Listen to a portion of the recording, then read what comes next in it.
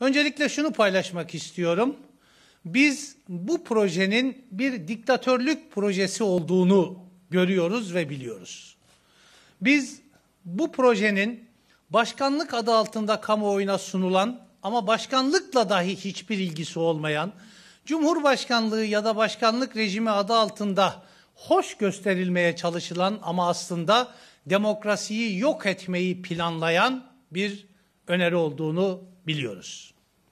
Biz bu projenin güçleri tek bir kişinin elinde toplama projesi olduğunu biliyoruz. Devletin yasama, yürütme ve yargı erklerini bir kişiye teslim eden ve kuvvetler birliğini Türkiye'de anayasal olarak yerleştirmeyi hedefleyen bir proje olduğunu biliyoruz.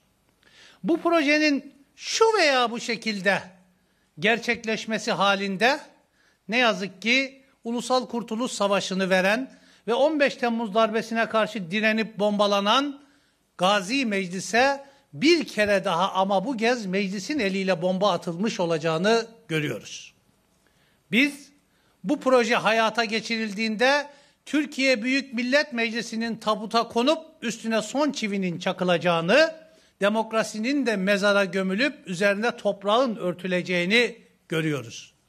Onun için bu teklifin tümüne karşıyız. Onun için bu teklifin şu veya bu maddelerini rötuşlemek ya da düzeltmek üzerine değil, bu teklifin geçmemesi için bu teklife önce komisyonda, sonra parlamentoda ve eğer gidecekse sonra da milletin huzurunda hayır dedirtmek için elimizden gelen çabayı, mücadeleyi göstereceğiz. Bu teklifin, projenin gerçekleşmesi halinde bir kişinin Cumhurbaşkanı adı altında her kim olursa olsun kimliğinin önemi yok.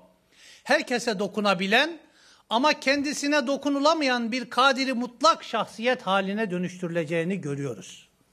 Biz bu proje gerçekleştiğinde, gerçekleşir ise Türk bugün bu projeyi görüşen Türkiye Büyük Millet Meclisi'ndeki milletvekillerinin belediye meclis üyesi kadar dahi bir etkisinin ve yetkisinin kalmayacağını biliyoruz. Onun için bugünkü toplantıda da arkadaşlarımızla etraflıca görüştük. Cumartesi de etraflıca görüşmüştük. Yarın kararlı bir şekilde bu teklife karşı çıkacağız. Bu teklif hem anayasanın ilk dört maddesine aykırıdır. Dördüncü maddedeki teklif edilemez sınırları yasağına, teklif yasağına aykırıdır. Kuvvetler ayrılığını ortadan kaldıran, demokratik hukuk devletini ortadan kaldıran, cumhuriyeti ortadan kaldıran bir projedir. Hem de Türkiye'de bir otoriter rejimi kurmanın anayasal altyapısını hazırlama adımıdır. Bu kararlılıkla neler yapacağımızı konuştuk. Milletvekili arkadaşlarımız yoğun bir takip içerisinde komisyon çalışmalarını izleyecekler. Komisyon aşamasından itibaren sizlerin de aracılığınızla kamuoyuna Türkiye'de nasıl bir oyun oynandığını sergileyeceğiz.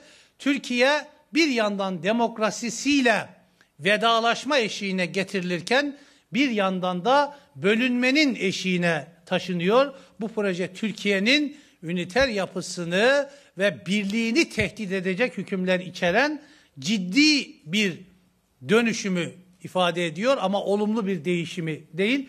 Bu çerçevede sonuna kadar bu anayasa değişikliklerine karşı çıkacağız. Toplantımızı da bu çerçevede yapacağımız işleri, atacağımız adımları planladık. Hepinize teşekkür ediyorum arkadaşlar.